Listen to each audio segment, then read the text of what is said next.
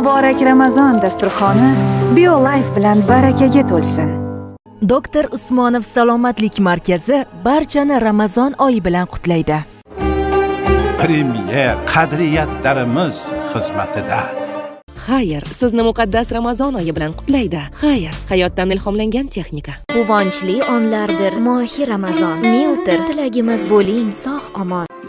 Markaziy Osiyodagi yagona yodlangan buloq suvi. Nihol sihatgohi. Fayz turizm Toshkent. Ishonchingizni oqlaymiz. Assalomu alaykum. Madinai Munavvarada bo'lgan sayohatimiz davom etadi. Aziz yurtdoshlar, biz hozir aynan to'xtagan mehmonxonamizdan masjidul nabaviyga qarab yo'l oldik juda ham orasi yaqin va bu yerda mana masalan yo'lda yurib ketyapsiz bu yerda do'konlar e, o'sha sovg'a salomlar olishingiz mumkin yoki qanaqadir bir aynan e, umrada kiyiladigan yoki hajda kiyiladigan qanaqadir bir kiyimlar ehrom masalan tapichkalar har xil kiyimlar kerak bo'ladigan bo'lsa bu yerdan xarid qilishingiz mumkin Xullas yana bir qulaylik haqida gapirib beramiz. Bu yerga biz to'g'ridan to'g'ri Istanbuldan uchib keldik. Agarda siz Jiddaga kelgan bo'lsangiz, avtomobil, taksi yoki bo'lmasam poyezdda kelishingiz mumkin. Poyezdning afzalliklaridan birinchisi siz avtomobilda yuradigan 4 soat yo'lni 3 soatda bosib o'tasiz. Ikkinchisi esa narx-navoda. avtomobilda 600 realga kelsangiz poyezdda 3 barobar arzonroqqa kelishingiz mumkin xullas biz madinai munavvaradamiz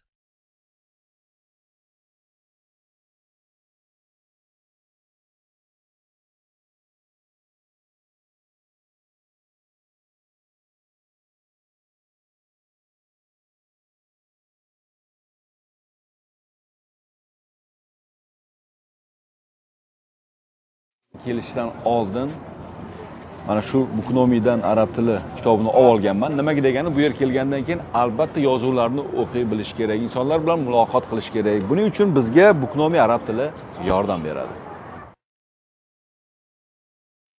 Bu yerda kaptarlar juda ham ko'p. Besh.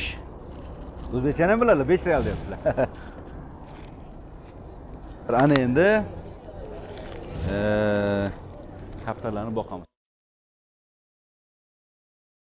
Bu yerda kaptarlarni boqadiganlar shu darajada ko'pki kaptarlar menimcha qorni to'q. Kim kelmayapti? Ma mana mana mana mana mana mana mana o'zbekistondan kelgan bug'doylar mana. Ma. Oddiy yuzlab emas azizlar bu yerda desam minglab kaptarlar uchib yuribdi. Aynan men turgan joyda. Mana mana mana mana kelinglar kelinglar. Mana mana mana mana mana. Mana kaptarlarni boqyapmiz azizlar. Ana endi masjidul nabaviyga qarab yo'l olamiz. Masjidul nabaviy esa aynan men o'tirgan joyim mana. Ya'ni ortimda turibdi. Mana qo'rqmanglar. Axir biz madinadamiz. Qani ketdik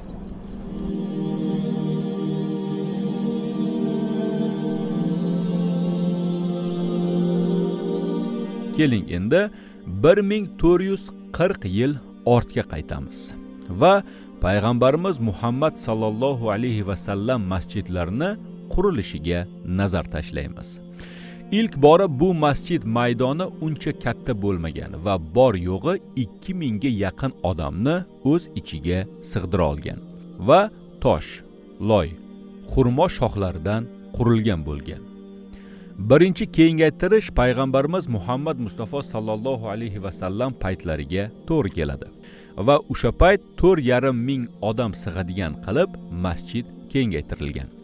Masjidning ikkinchi kengaytirish ishlari bu umar ibn xattob davriga to'g'ri keladi. U zot olti mingta odam sig'adigan qilib masjidni kengaytirganlar va ilk bor masjid yeriga mayda tosh yotqizgan ekanlar va ochiq hovli joyi hozirgacha saqlanib qolingan va hasva ya'ni toshchalar deb ataladi. Undan keyin esa usmon ibn affon taraflama masjidga o'zgartirish kiritildi. Undan keyin esa omiyatlar davrida to'rtta minor qurilib oysha onamiz uylari masjid hududiga kirdi.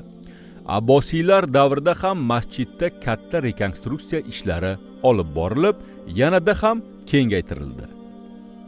Mavluklar davrida gumbazlar qurildi. Usmoniylar davrida ham masjidda katta qayta qurish olib borildi. Va eng so'nggi qayta qurilishlar saudiylar davrida bo'lib o'tdi. So'nggi texnologiyalar bilan jihozlandi. Ilk bor ochib yopiladigan shiftlar o'rnatildi. Masjidul nabaviyga sakson eshik olib kiradi. Ana endi ravzaga qarab yo'l oldik.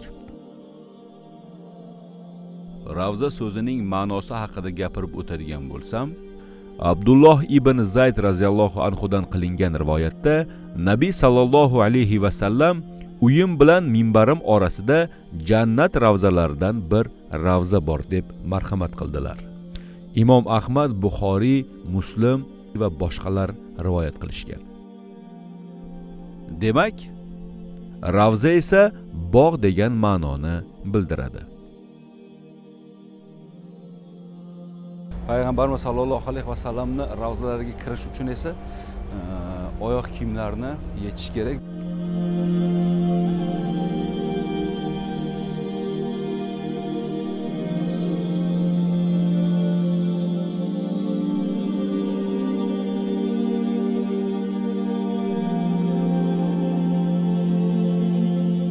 Xabaringiz bor. Muhtaram yurtboshimiz ham mana shu muqaddas manzilda bo'lgan edilar. Aynan yurtdoshlarimizning ham ko'ngillaridan o'tgan hayajonlarni biz ham ijodiy guruhimiz bilan his qildik. Har bitta ustunni o'zini e, nomi bor ekan bu yerda. Masalan ustunlarning birini nomi karavot. Nima uchun bunday nomlanadi? Payg'ambarimiz muhammad sallallohu alayhi vasallam betob bo'lgan paytlari bu joyga ularning yotoqlarini olib chiqib qo'yishgan ekan. Rasululloh sollallohu alayhi vasallamni ravzalari aynan uylari ham shu yerda bo'lgan. Oysha onamizni uylarida vafot etganlar va vafot etgan joylarida dafn etilganlar. Payg'ambarimiz sallallohu alayhi vasallam vafotlaridan so'ng ul zotni qayerga dafn etishni o'ylab qolishdi. Shunda abu bakr siddiq roziyallohu anhu shunday dedilar payg'ambarimiz muhammad mustafa sallallohu alayhi vasallamdan eshitganman. Ul zot shunday marhamat qilganlar.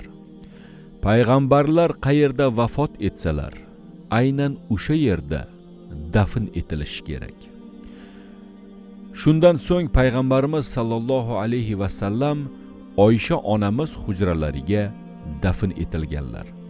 Undan so'ng abu bakr siddiq va umar ibn xattob ham shu yerda dafn etilganlar va keyinchalik bu yer yopib qo'yilgan va bu joy al hijratul nabaviya deb nom oladi.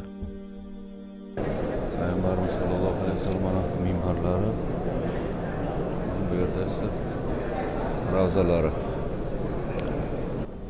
Mana biz ravzaga qarab kirib kelyapmiz. Hayajonim ichimga sig'mayapti.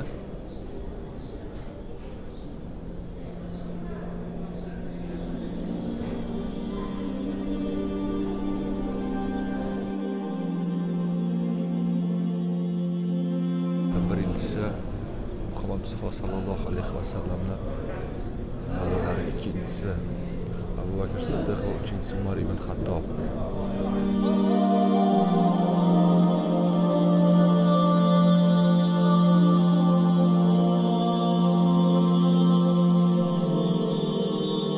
xullas madinai munavvara bo'ylab sayohatimiz davom etadi.